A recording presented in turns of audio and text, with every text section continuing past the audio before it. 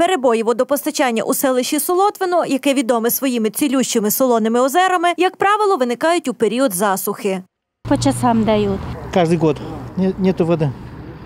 Когда сами надо воду, и нет ее. У нас колодец дома, проблемы здесь у нас. По много часов в день воды, так слышали. А люди платят. Проблемы с водой это у нас уже с годами всегда есть эм, водопостачание не идеальное, так, такое, ко- которое должно было бы быть. Поэтому мы с каждым годом стараемся все усовершенствовать, все развивать, чтобы оно было в нормальном и если хотя бы было э, 12 часов в день. Пока что не можем, да- даем воду по графику. Проблема з водопостачанням загострилася минулого літа із кінця серпня, коли засолилася одна із свердловин, збудована ще у 30-х роках за Чехословаччини, яка використовувалася як резервна під час зниження рівня води та у період засухи. В эту скважину начала попадать соленая вода.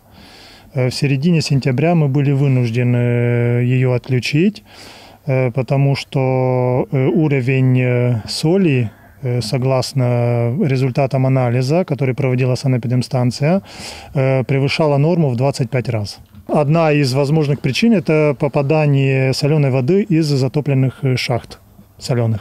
Зараз водопостачання у Солотвіні забезпечують дві діючі свердловини на околиці селища в урочищі Тиса, практично на українсько-румунському кордоні.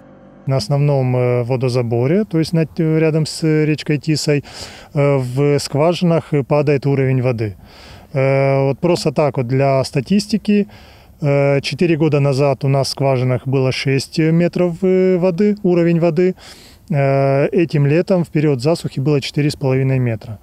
Э, В связи с этим э, максимум, сколько может работать водоканал, это 2-2,5 часа. Дальше мы вынуждены выключать скважины, чтобы не сгорело насосное оборудование. Якщо не вирішити питання, половина населеного пункту, а це 4 тисячі жителів, залишиться без води. Крім того, проблема торкнеться і відвідувачів Солотвина, адже це курортно-рекреаційне селище, де зареєстровано 65 абонентів підприємців, які обслуговують туристів. Очільник водоканалу б'є на сполох, аби уникнути перебоїв з водопостачанням влітку, треба діяти вже зараз. Того, чтобы решить проблему с водой, нам нужно запустить еще две скважины. Э, Тоже у нас есть одна э, старая, э, которая в связи с аварией э, лет 15 назад была отключена, и одна э, тоже пробурена в 2007 году. То есть эти две скважины нам нужно э, прочистить, соединить с центральным водопроводом, провести электрику, насосное оборудование туда запустить. Когда рассматривали бюджет на этот год, мы заложили деньги на эти работы. Кон- Конечно, вот эти деньги, скорее всего, не покроют полностью всю сумму, которая э, нужна будет для э, решения вот этой проблематики. На водоканал э, в районе 1 миллиона гривен. И, конечно, еще пока не знаем, сколько будет это проектно-кошторисная документация на эту. Там вроде есть, что она будет где-то около двух или больше двух миллионов. Все деньги не можем, поэтому будем обращаться в районную, в областную раду, чтобы помогли в этом. Коштів, які виділила селищна рада на фінансування всіх робіт з відновлення свердловин, не вистачить. Крім того, ці гроші надійдуть на потреби водоканалу у другій половині року. А проблему треба вирішувати до початку літа. когда начнется засуха, то у нас уже э, скважины должны э, работать. М, э, Районная администрация не может, к сожалению, нам помочь, потому что для того, чтобы выделить деньги, э, нужна проектно-кошторисная документация. А это, опять же, деньги, которых нету, и время, которого у нас э, тоже нету. Директор водоканалу спробував ще один спосіб залучити необхідну суму грошей. А це для старту 2 мільйони гривень. Зареєстрував проект в одному з американських фондів підтримки розвитку стартапів.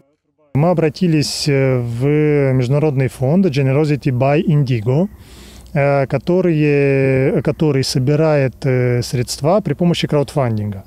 Суть в чем? Вот если у любой, любого человека есть какая-то идея, он может обратиться в фонд для сбора средств, чтобы этот человек смог запустить свою идею реализовать э, эту идею. Это такое понятие, как э, «с миру по нитке голому рубашка». Любой человек может зайти на страничку проекта, прочитать э, информацию про него, и если э, эта идея ему понравилась, он может сделать э, взнос э, в помощь этому проекту. Проект відновлення солотвинських свердловин вже зареєстрований на сайті фонду Generosity by Indiegogo. Збір коштів триває вже місяць. Для того, чтобы как можно большее количество людей увидело этот проект, необходимо э, поднять рейтинг, его рейтинг.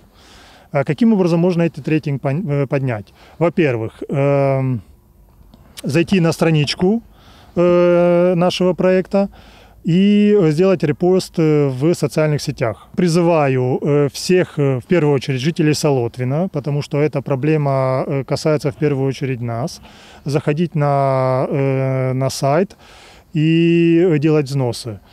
И э, также просьба всем желающим э, за границами Солотвина, в Закарпатье, в Украине э, тоже присоединяться к нам, к нашей идее.